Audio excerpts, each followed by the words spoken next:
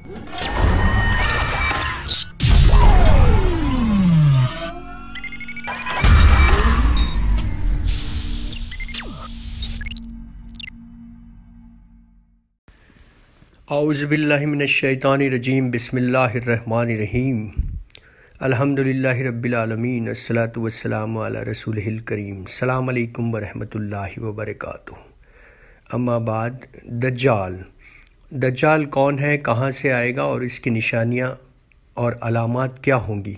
रसूलुल्लाह सल्लल्लाहु अलैहि वसल्लम ने जो दज्जाल के मुताबिक निशानियाँ बताईं, जो उसकी अलामत बताईं, वो पेश खिदमत हैं।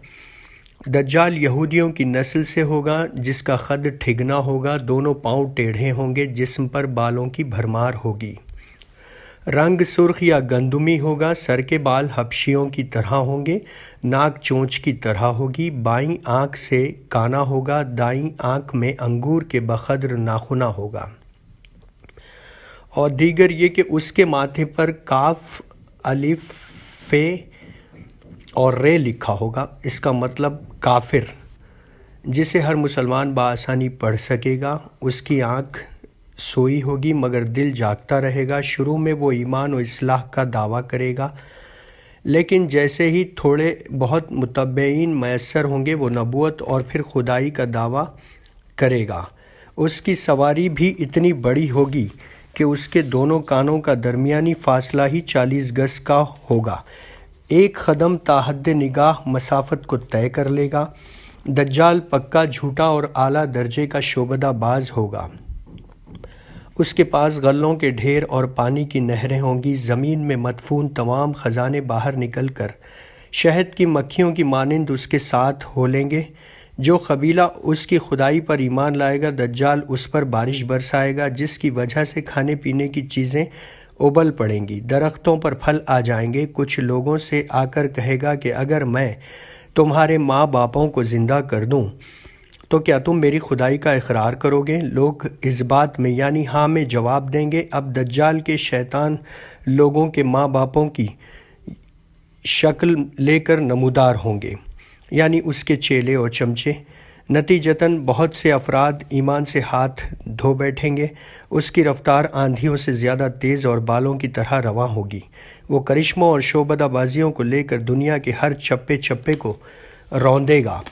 तमाम दुश्मनान इस्लाम और दुनिया भर की यहूदी उम्मत मुस्लिमा में, उम्मत मुस्लिमा के साथ बुग्ज़ में उसकी पुश्त पनाही कर रहे होंगे। वो मक्का मुज़मा में घुसना चाहेगा, मगर फ़रिश्तों की पहरादारी की वजह से घुस ना पाएगा। इसलिए नामुराद जलील होकर वापस होगा, फिर मदीन मुनवरा का रुख करेगा। उस वक्त मदीन मुनवरा के साथ दरवाज़े होंगे और हर दरवाज़े पर फरिश्तों का पहरा होगा, लिहाजा यहाँ पर भी मुकी खानी पड़ेगी।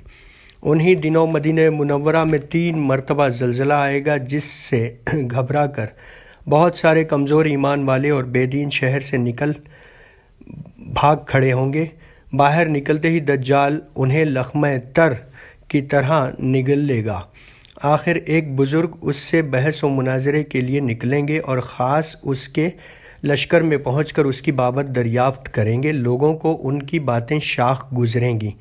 लिहाजा उनके कत्ल का फ़ैसला करेंगे, मगर चंद अफराद आड़े आकर ये कहकर रोक देंगे कि हमारे खुदा यानी दज्जाल की इजाज़त के बगैर उनको कत्ल नहीं किया जा सकता। चुनाचे उन बुज़ुर्ग को दज्जाल के दरबार में लाया जाएगा, जहाँ पहुंचकर ये बुज़ुर्ग चिल्ला उठेंगे कि मैंने पहचान लिया। कि तू ही दज्जाल मलून है। रसूलुल्लाह सल्लल्लाहु अलैहि वसल्लम ने हमें तेरे ही खरूज की खबर दी थी। दज्जाल उस खबर को सुनते ही आपे से बाहर हो जाएगा और उनको कत्ल करने का फ़ैसला करेगा। दरबारी फ़ौरन उनके दो टुकड़े कर देंगे। दज्जाल अपने हवारियों से कहेगा कि अब अगर मैं उनको दोबारा ज़िंदा कर दूँ तो क्या तुम मेरी खुदाई का पक्का यकीन कर लोगे? ये दज्जाली गुरोह कहेगा कि हम तो पहले ही से आपको खुदा मानते हुए आ रहे हैं। अलबत्ता, इस मोजे से हमारे यकीन में और इजाफा हो जाएगा। दज्जाल उन बुज़ुर्ग के दो टुकड़ों को इकट्ठा करके ज़िंदा करने की कोशिश करेगा। उधर वो बुज़ुर्ग बवजह हुक्म इलाही खड़े हो जाएँगे और कहेंगे कि अब तो मुझे और ज़्यादा यकीन आ गया कि तू ही दज्जाल मलून है और वो झुंझला कर दोबारा उन्हें कत्ल करने की कोशिश करेगा। लेकिन अब उसकी कुदरत सल्ब कर ली जाएगी। दज्जाल शर्मिंदा होकर उन्हें अपनी बनाई हुई जहन्नुम में झोंक देगा, लेकिन ये आग ठंडी और गुलजार बन जाएगी। उसके बाद वो शाम का रुख करेगा, लेकिन दमिश्क पहुँचने से पहले ही हज़रत महदी अलैहिस्सलाम वहाँ आ चुके होंगे। दज्जाल दुनिया में सिर्फ़ चालीस दिन रहेगा, एक दिन एक साल के बराबर, दूसरा एक महीने के बराबर और तीसरा एक हफ़्ते के बराबर होगा। बकाया मामूल के मुताबिक होंगे। इमाम महदी अलैहिस्सलाम दमिश्क पहुँचते ही ज़ोर व शोर से जंग की तैयारी शुरू कर देंगे, लेकिन सूरत हाल बज़ाहिर दज्जाल के हक़ में होगी, क्योंकि वो अपने मादी व अफरादी ताकत के बल पर पूरी दुनिया में थाक बिठा चुका होगा। इसलिए अस्करी ताकत के एतबार से तो उसकी शिकस्त बज़ाहिर मुश्किल होगी। मगर अल्लाह की तायद और नुसरत हक़ का यकीन सबको होगा। हज़रत महदी अलैहिस्सलाम और तमाम मुसलमान इसी उम्मीद के साथ दमिश्क में दज्जाल के साथ जंग की तैयारियों में होंगे। तमाम मुसलमान नमाज़ों की अदायगी दमिश्क की ख़दीम शहरा आफाक मस्जिद में, मस्जिद यानी जाम उमवी में अदा करे, करते होंगे। इमाम महदी अलैहिस्सलाम एक दिन नमाज़ पढ़ाने के लिए मुसल्ले की तरफ़ बढ़ेंगे तो ऐन उसी वक्त हज़रत ईसा अलैहिस्सलाम का नज़ूल होगा। नमाज़ से फारिग होकर लोग दज्जाल के मुकाबले के लिए निकलेंगे। दज्जाल हज़रत ईसा अलैहिस्सलाम को देख कर ऐसा घुलने लगेगा जैसे नमक पानी में घुल जाता है। फिर हज़रत ईसा अलैहिस्सलाम आगे बढ़कर उसको क़त्ल कर देंगे और हालत ये होगी कि शजर हजर आवाज़ लगाएँगे कि, ए रूहुल्लाह, मेरे पीछे यहूदी छुपा है। चुनाचे वो दज्जाल के चेलों में से किसी को भी न छोड़ेंगे, फिर वो सलीब को तोड़ेंगे, यानी सलीब परस्ती ख़त्म करेंगे और फिर खंजीर को क़त्ल करके जंग का ख़ात्मा करेंगे।